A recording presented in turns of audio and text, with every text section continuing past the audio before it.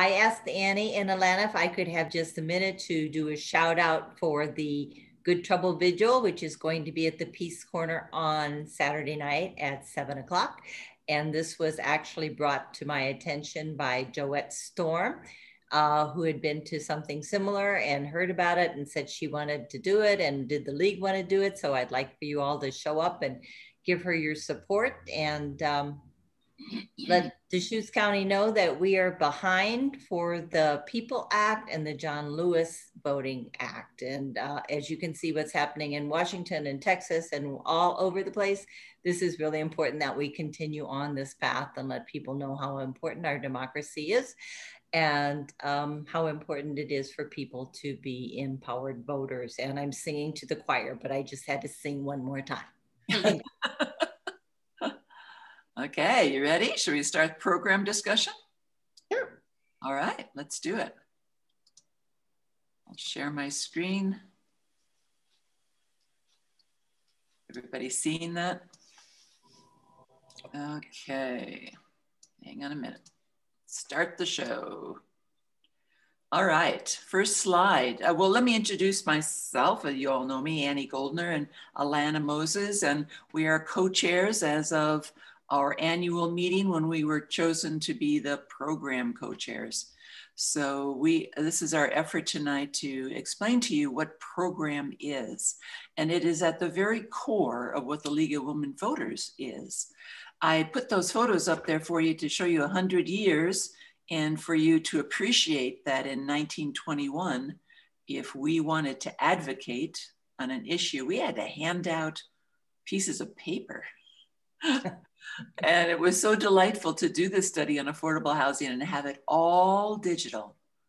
It really was amazing and it was so much more efficient and we were able to research more thoroughly. So the league, uh, the league programs, the why, what, and how, the ABCs, starting with the root of it of empowering voters and defending democracy. And it is in our bylaws programs. And I wanted to put this here so you understand it is authorized for us to have programs by the National Convention. And it involves the principles of the League of Women Voters. I have a copy of the principles, be glad to share that with anyone who is interested, didn't include it in this presentation. Uh, also, the member action uh, happens only when authorized.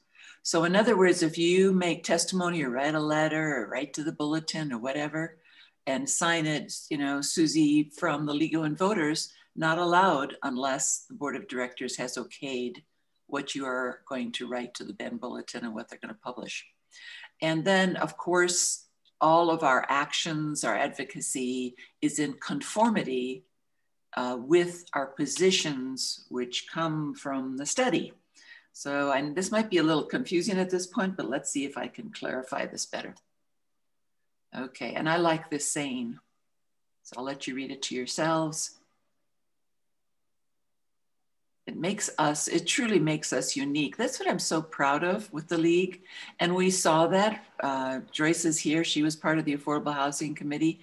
And we were received with so much respect because our organization has gained respect because we're nonpartisan and because we make the effort of studying before we take positions. so why should we do studies? Well, it empowers voters. And to empower voters, we need information on issues and it defends democracy because it increases the understanding we have of public policy issues. And then that allows us to educate and to advocate for our positions.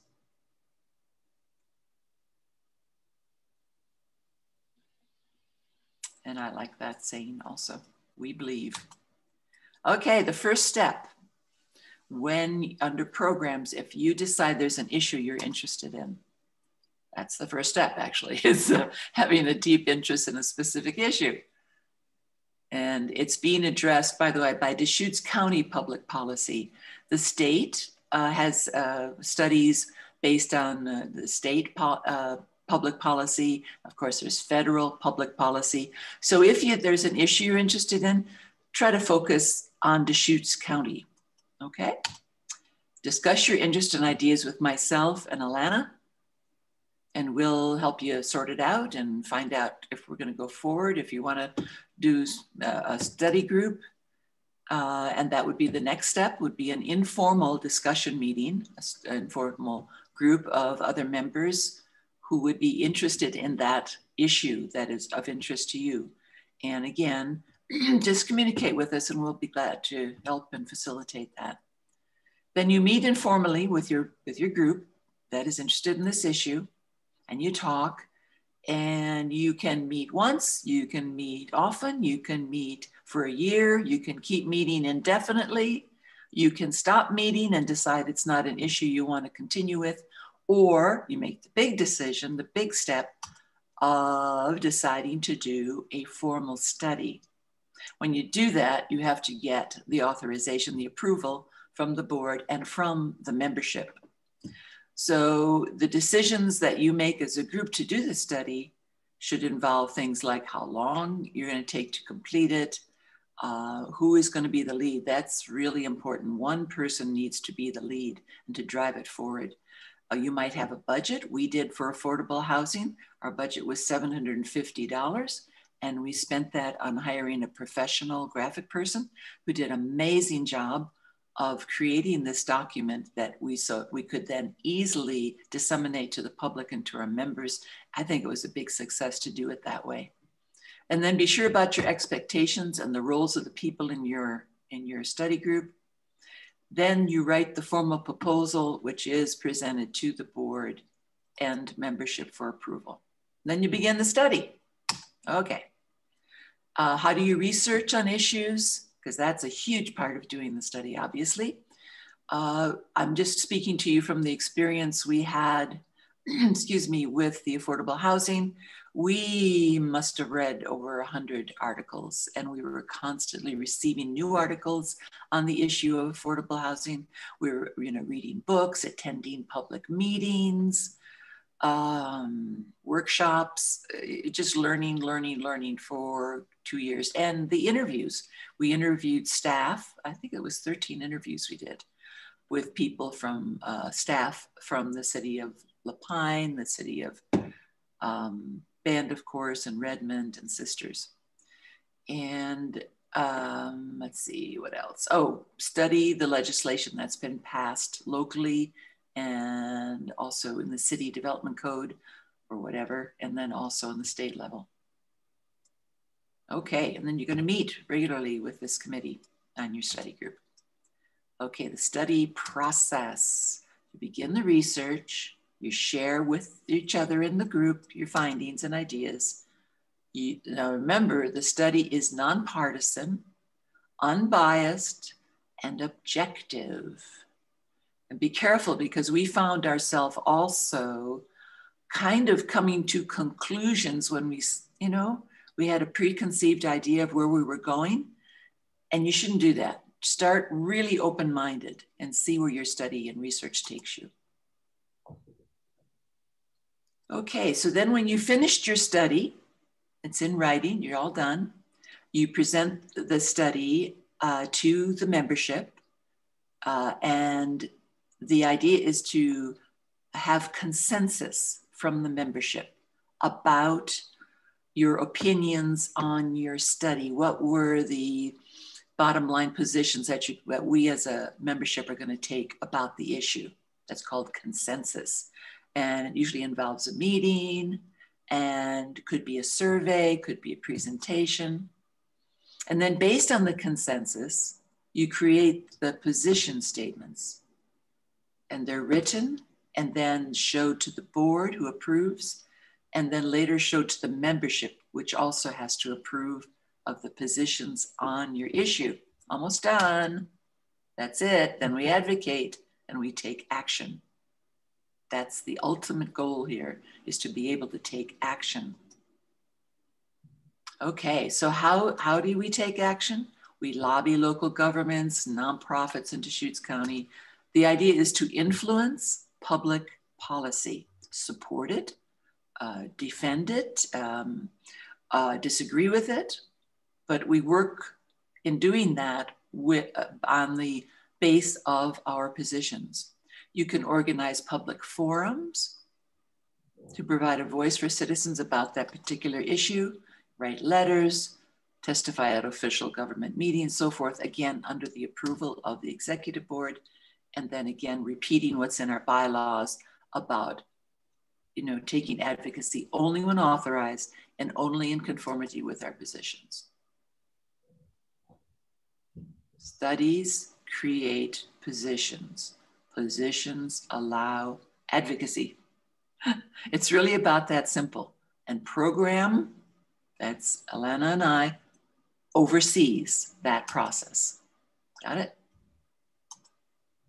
That's it. That's it. Okay, so these uh, are the studies that have been done in the years they were done, and we have positions under those issues, those studies. Uh, they're on our website, uh, so please go there and, and read them, and maybe you'll be inspired by the positions we have in those issues. Again, the website. Now, the studies under consideration right now for our league is local education update. Joyce is the official lead on that. Diversity, equity, inclusion.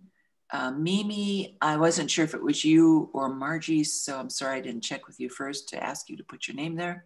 And water policy, Becky and Celeste, I wasn't sure who was the lead there. So, but these are three groups that one is already meeting education. Uh, Mimi, I assume you're, you're meeting with diversity and I'm not sure yet about water policy. And then we have some ideas, possible issues that may be of interest to our membership. It would be amazing to do a study on childcare. It is such an important issue right now, such an important issue. Uh, so, anyways, I get excited about it. Uh, on infrastructure, I mean, we're all talking about we need infrastructure, the growth. Ah, you know, maybe we should get smarter about what that means and what's involved and what's the funding that's needed. And then public notice and participation.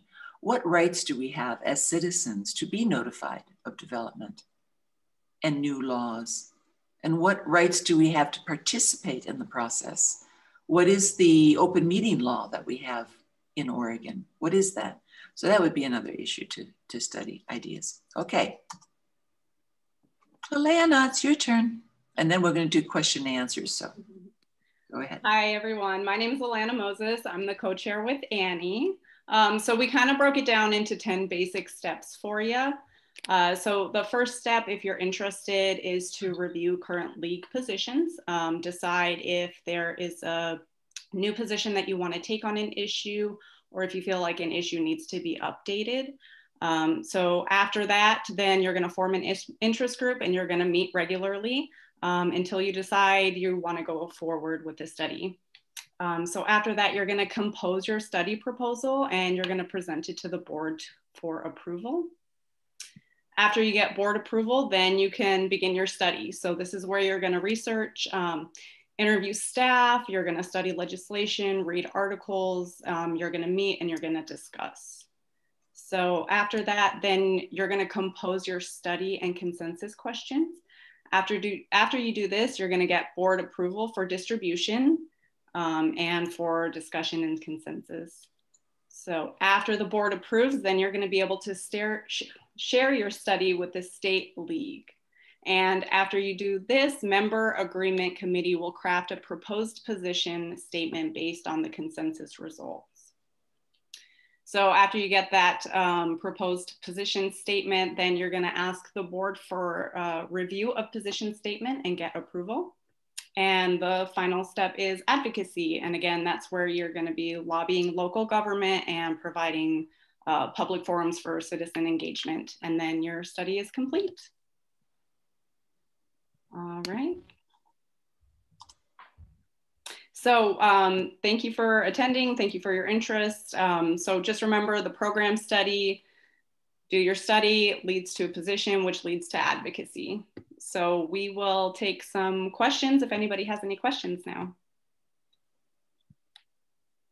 I'd just like to say that was really well done and it really spells out what you need to do to, to do a study. And I think that Annie and her housing group kind of uh, learn by fire by baptism or whatever you call that. Uh, anyway, so um, so we really realized that you know we have so many people that are new to the league that they needed to understand the procedure. And so this really helps those of you who are interested in a study and updating a study and looking at the studies that we have. They're really old and you know they either need to be updated or they should just kind of go away.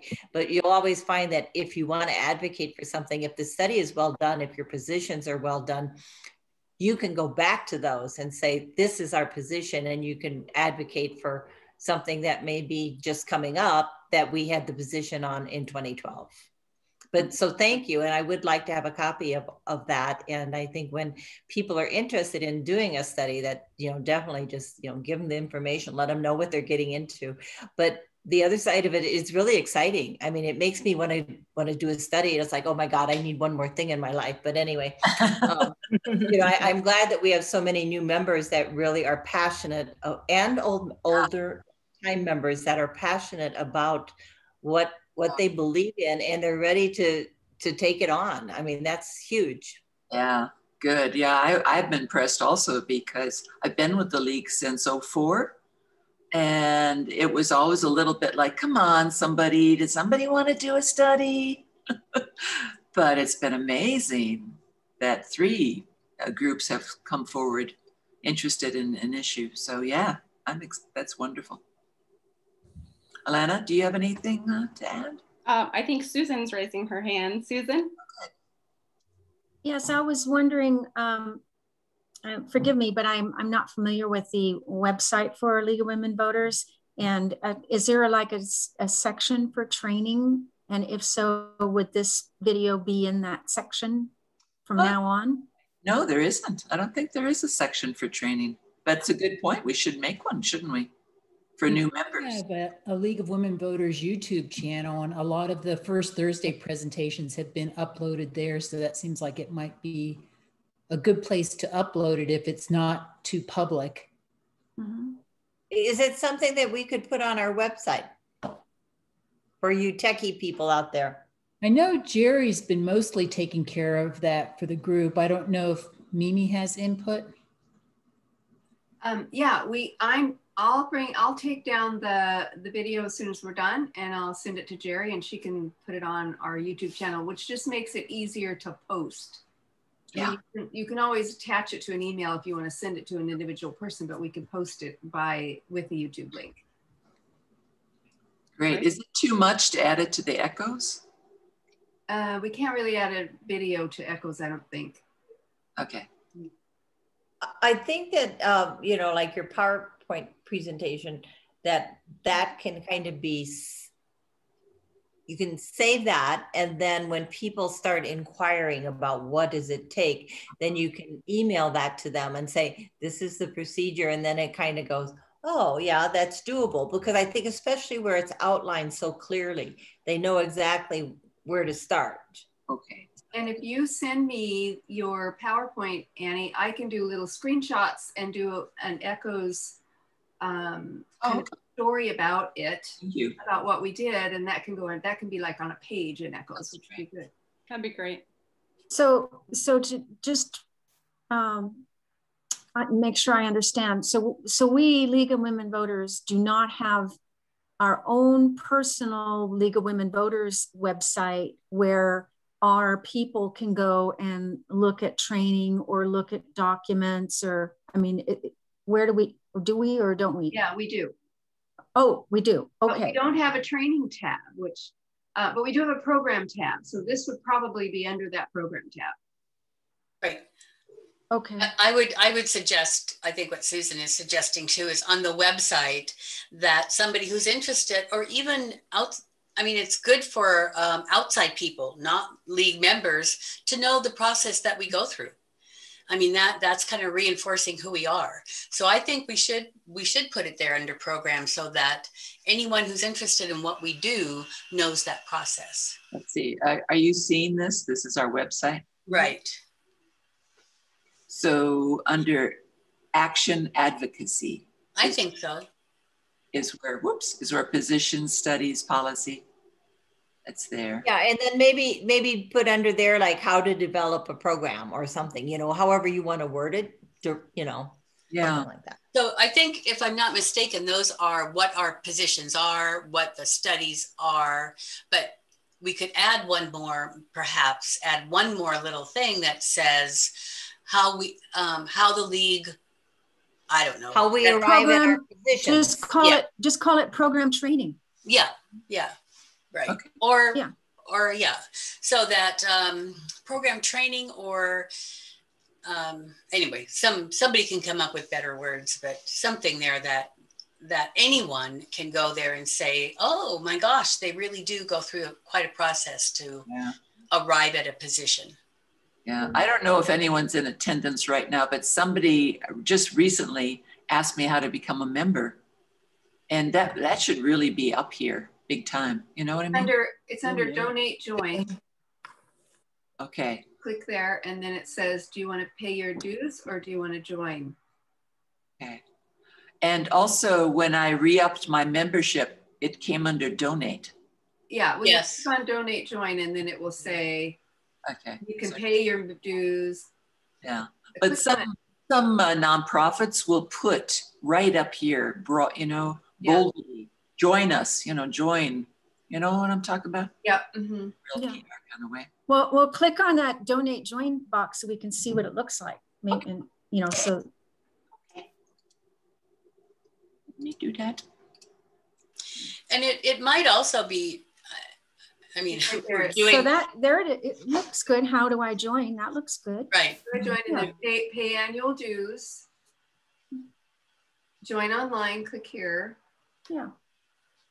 It's just, I'm just saying that not, some nonprofits will Yeah. make it much more, Simple. you know? Yeah. e- Yeah, Just much more bold in a way. Join us or become a Yeah. member. We definitely need to update our website, which is going to happen if we switch our, our um, right, carrier. right. Because even a website place, has been a work in progress for a long time. yes.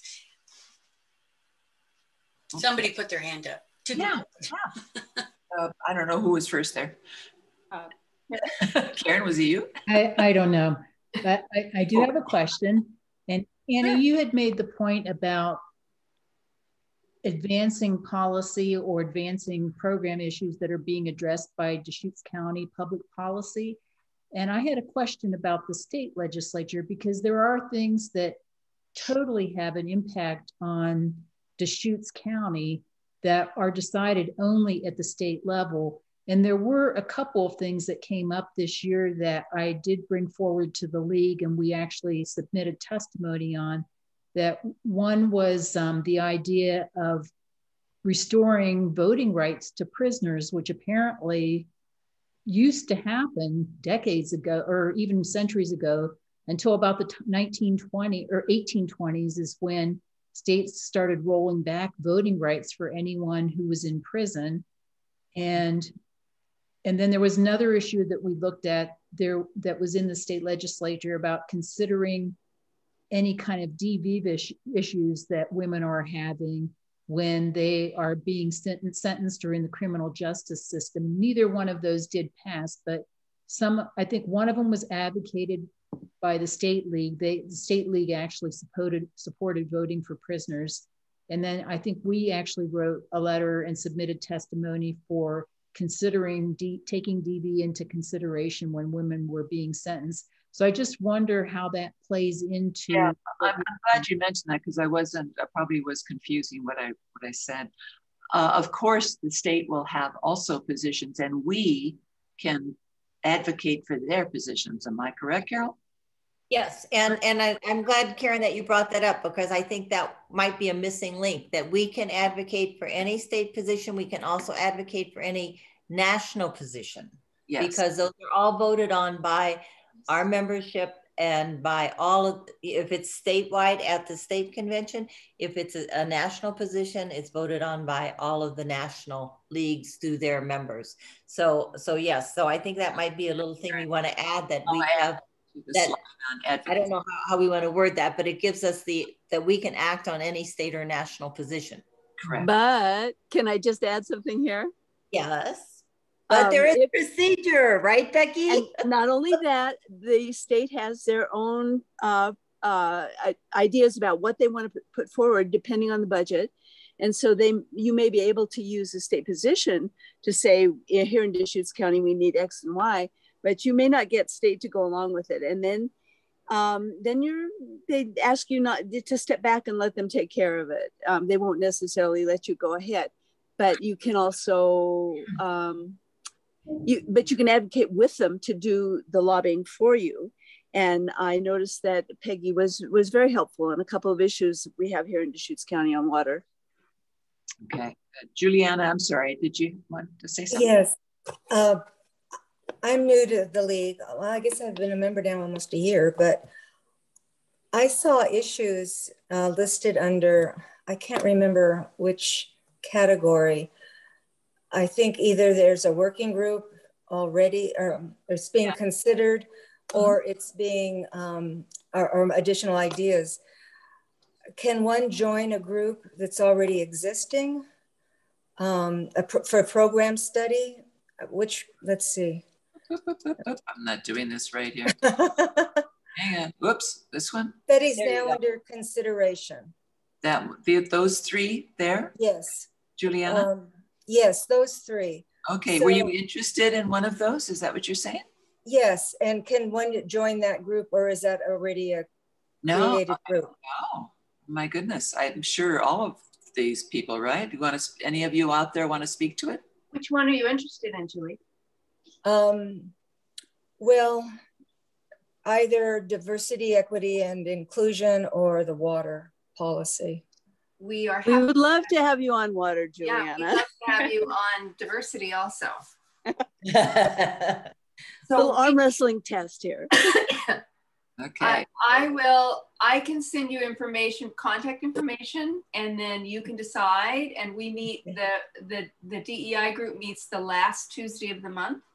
And we read or watch a video. We have a prompt that we discuss, and it's been short things that are pretty short, like an article or a, a podcast or a, um, you know, a YouTube video interview.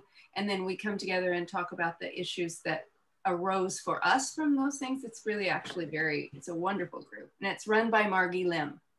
So I think have I, Mimi, I think I've attended at least You have. Those. Okay, so that's what that is. Okay. And Becky lo- would love to have more help with water issues. There's so many water issues in Deschutes County.